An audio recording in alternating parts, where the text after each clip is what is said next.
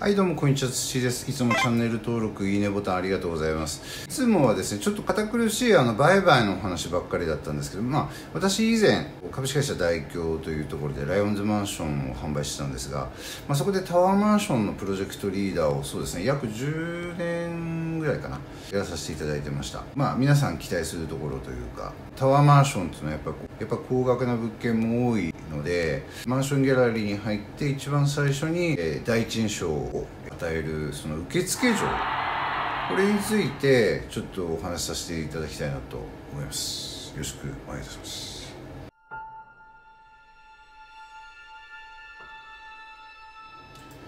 はい、ということで今日はですね、えっと、タワーマンション、えー、現場を華やかにする、えっと、美人受付嬢のお話になるんですけれどもまずどうやって選定するかというお話です。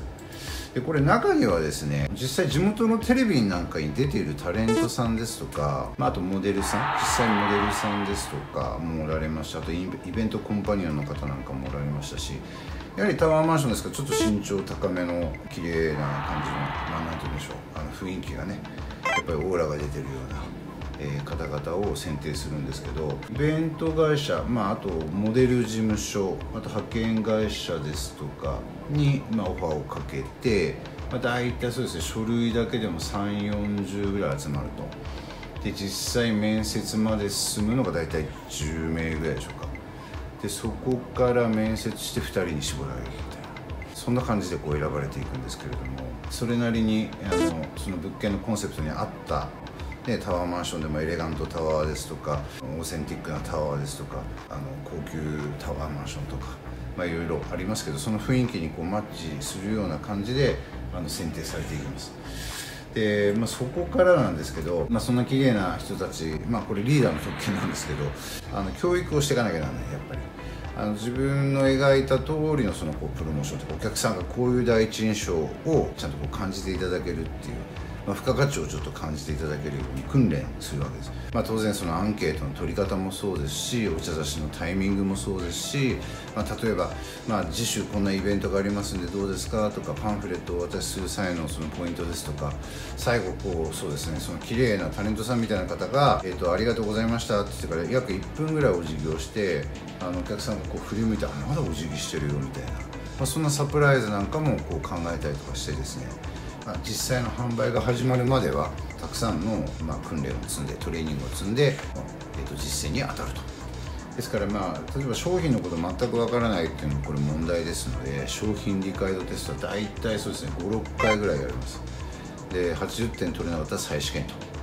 だから、ね、受付の方なんかでもタワーマンションのその商品のことは結構分かってる方が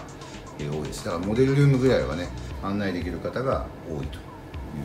ことですねで実際にね営業社員とのなんかあるんじゃないのとかっていう、まあ、この恋愛に発展したりとかどうなのっていうそのそそこがちょっと今日多分肝かなと思うんですけど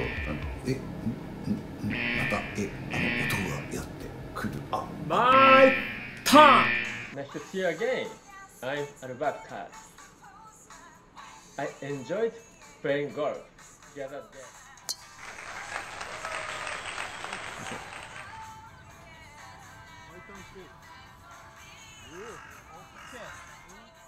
What's the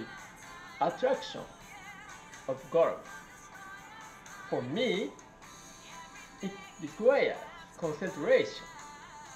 That's right. It's also good for work. Okay. Enjoy life with concentration. Alright, see you. Bye. せっかくねまあいいお話をしようかなと いうところでちょっとまあ間に入ってしまいました、えっと、アルバート和夫さんですけども、えっと、実際その受付嬢とのねその恋愛みたいなのあるんですかっていう話実際ですねあります。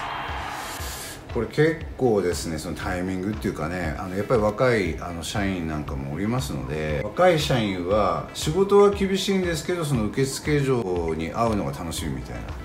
あのそんな感じでやっぱり明日も来たい現場の演出をするためにはあのそれやっぱ綺麗どころの受付嬢ってすごく現場として大切な存在というか役割だったんですよね。でまあ、あの例えばですけどお客さん2時半からのアポイントなのに2時から受付に行って待ってるとかね。あの見て見ぬふりはしてましたけどそうやってちょっとここチクチクチクチク食事行きませんか？とかですね。メール交換しませんか？とかですね。言ってこうお近づきになったりとかお話できるようになってすごくこうモチベーションが上がって逆にいい仕事ができるっていう場合もありますし逆に振られちゃってねあのこ なんか落ち込んじゃったりとかする社員なんかもおりました。実際のところ。でまあうまくいっててる話っていうかそこでねご縁ができてそのまま結婚された方なんかもおられましたしタワーマンションの現場ですけどやっぱ東京からスタッフが来たりとかでそのまま東京に連れてかれちゃったりとかいうお話もよく聞きました。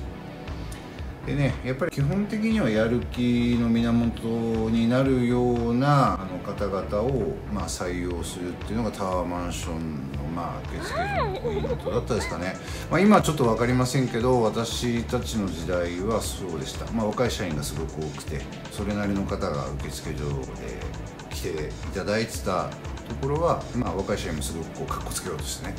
もう成績取れたとかこれ申し込み取れたんだまあ、ある意味そうやってちょっとこうモチベーションを上げるこう起爆剤としてもねあの頑張っていただきました。今日はですねそのタワーマンションのその、まあ、受付所のお話をさせていただきましたけれども現場としては非常にこう忙しい、まあ、まあそういうこう恋愛なんてしてる暇ないぐらい第1期はあのそういうことで、ね、体重が3キロぐらい落ちましたとかっていうぐらいお昼ご飯食べれないぐらいやっぱりタワーマンションの現場ってのは忙しくするんです。集客件数を増やしてですね。なので辛い思いの中でちょっとこう楽しい一部ね少し和むような演出があったりですとか現場としてはまあ目標としては明日も来たくなるような現場というのを目標にやってまいりました、えー、よろしければ皆さんも今やってるタワーマンションの現場に行ってどんな受付嬢がいるのか見てみるのも楽しいんではないでしょうか。今日はこの辺で終わりにしたいと思います。最後までお付き合いいただきましてありがとうございました。またお会いいたしましょう。バイバイ。不動産の。Bye bye.